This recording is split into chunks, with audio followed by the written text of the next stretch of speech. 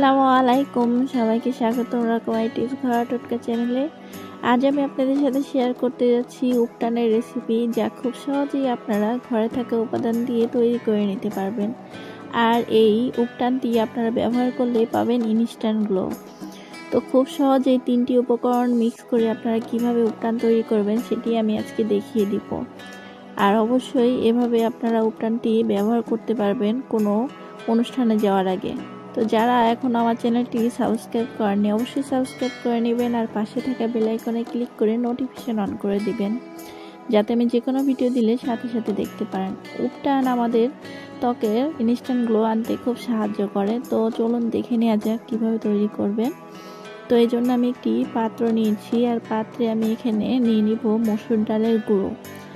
মসুরির ডাল আমি এখানে ভালো করে ব্লিন্ড করে নিয়েছি। আপনারা যে পরিমাণ বানাতে চান, সেই পরিমাণ ব্লিন্ড করে নেবেন। তো আমি এখানে চার চা চামচ পরিমাণ মসুরির ডাল গুঁড়ো নিয়ে নিব। আর যে পরিমাণ মসুরির ডাল নিব, তার সাথে আমি বেসন অ্যাড করব। তো বেসনটা এখানে মসুর ডালের অর্ধেক পরিমাণ নিতে হবে। অর্থাৎ আমি এখানে চার চা চামচ পরিমাণ মসুর ডালের গুঁড়ো নিয়েছি। এই জন্য আমি এখানে দুই চা চা চামচ পরিমাণ বেসন নিয়ে নিব।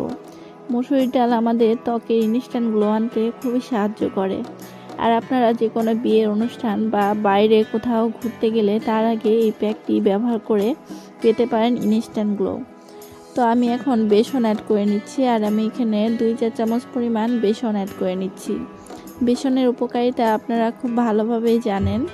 বেসন প্রাকৃতিকভাবে আপনার ত্বককে উজ্জ্বল করতে খুবই সাহায্য করে। আর বাসায় খুব সহজেই আপনারা এই উপটানের রেসিপিটি তৈরি করে নিতে পারবেন আর পাবেন ইনস্ট্যান্ট গ্লো তো এর সাথে আমি কাঁচা হলুদ অ্যাড করব। তো কাঁচা হলুদটা আমি ভালো করে শুকিয়ে নিয়েছি আর রোদে ভালো করে শুকিয়ে তারপর এই কাঁচা হলুদটাকে আমি ব্লিন্ড করে নিয়েছি। আর কাঁচা হলুদ এখানে দিতে হবে এক চা চামচ পরিমাণ। অর্থাৎ মসুরি ডাল যে পরিমাণ নেবেন তার চার ভাগের এক ভাগ নিতে হবে হলুদের গুঁড়ো। আর হলুদের গুঁড়ো আমাদের প্রাচীনকাল থেকেই খুব ভালো ত্বকের উজ্জ্বলতা বাড়াতে সাহায্য করে আসছে। আর এই তিনটি উপাদান মিক্স করে নিলেই আপনাদের উপটানটি রেডি হয়ে যাবে। আর এই শুকনো উপকরণটি আপনারা ব্যবহার করতে পারবেন এক মাস বা দুই মাস পর্যন্ত। আর খুব সহজেই আপনারা এই উপটানটি তৈরি করে রাখতে পারেন।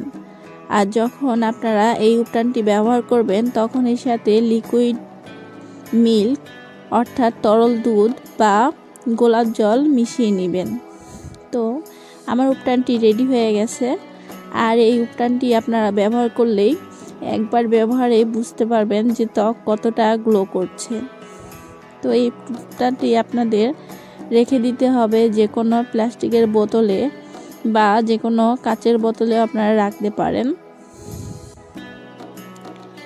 তো আমি প্লাস্টিকের একটি বোতলে ভিতরে রেখে দিচ্ছি আর এই কৌটার ভিতরে রেখে আমি সংরক্ষণ করে রাখতে পারব এক মাস।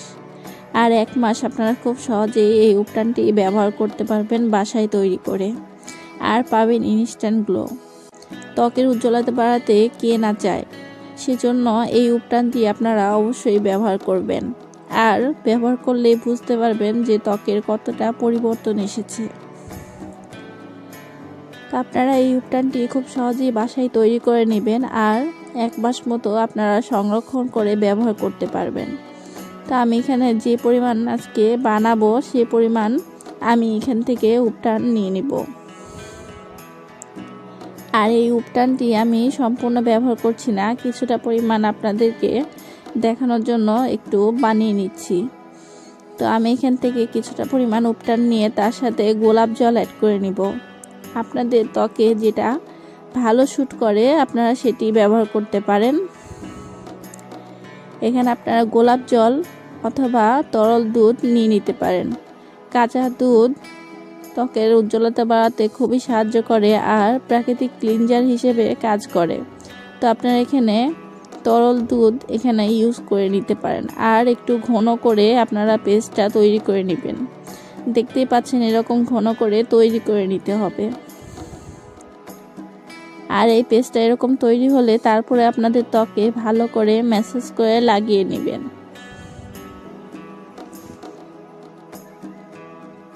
ত্বকের উজ্জ্বলতা বাড়াতে এই উপটানটি খুবই কার্যকর। আপনারা একবার ব্যবহারেই বুঝতে পারবেন এই উপটানটি কতটা কার্যকর। আর খুব সহজেই আপনারা এই উপটানটি বানিয়ে নিতে পারেন। তো শুকিয়ে যাওয়া পর্যন্ত আপনারা এই উপটানটি ত্বকে লাগিয়ে রাখবেন। আর এই মসুর ডালের উপটানটি আপনাদের ত্বকের ইনস্ট্যান্ট গ্লো আনতে সাহায্য করবে। তো দেখতেই পাচ্ছেন, উপটানটি তুলে ফেলার পর আমার হাতটা কতটা গ্লো করছে, আর এভাবেই আপনারা বাসায় তৈরি করে নিতে পারেন উপটান। আর এই উপটানটি যখন ত্বকে লাগাবেন, তারপর শুকিয়ে যাওয়া অবধি রেখে দিবেন। অবশ্যই কমেন্ট করে জানাবেন, কোনো কিছু জানার থাকলে। আর আমার ভিডিওটি ভালো লাগলে অবশ্যই লাইক করবেন। আজকের মতো এই পর্যন্তই। সবাই ভালো থাকবেন, সুস্থ থাকবেন। আসসালামু আলাইকুম।